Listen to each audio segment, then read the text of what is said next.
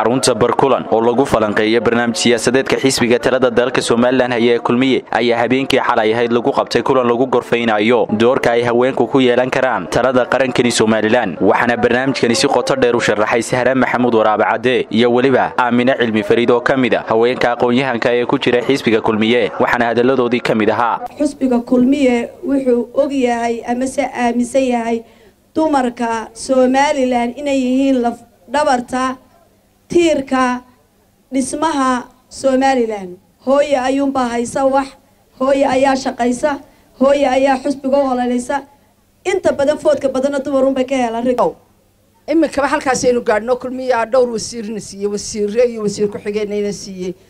Iminkana muuse halkiibu ka sii ambaqaadaya oo uu tallaabadii tallaabo ka sii sarraysa.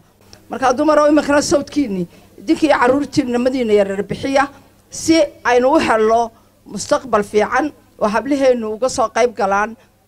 Maaragtay dawladda soo socota haddii aan yidhaahdo. Iminkana dee buugga weyna ugu jirtaa kulmiye in hablaha waxbarashadooda kor loo qaadayo xisbigu wuxuu qirsan yahay in haweenku yihiin lafdhabarta bulshada. Wuxuu kaluu qirsan yahay in haweenku kaalin laxaadle kaga jiraan dibudhiska dalka. Waxaad arki doontaan ama dareemi doontaan oo lay waddanka lagu dhiqi doonaa borogaraamkaa buuggaa siyaasadda uu qof waliba haysto. La furaysgarayn maayo sida dadka qaar uu sameeyo laakiin waa la imbilimad garaynayaa because waxaa loo qoray oo awoodda intaa leeg loo geliyey oo intaasoo aqoon-yahan isugugu tageen in waddankan wax laga beddelo oo kor loo sii wado inkastuu horumar ballaadhan mataankiisa koowaad uu sameeyey dawladda uu hogaaminaya axmed maxamed maxamuud siilaanyo haddana mar labaad markuu talada dalka ku guulaystana wuxuu idiin ballan qaadayaa istaraatiijiyadiisa ku salaysan buuggaas ee ah cadaalad sinaan iyo horumar.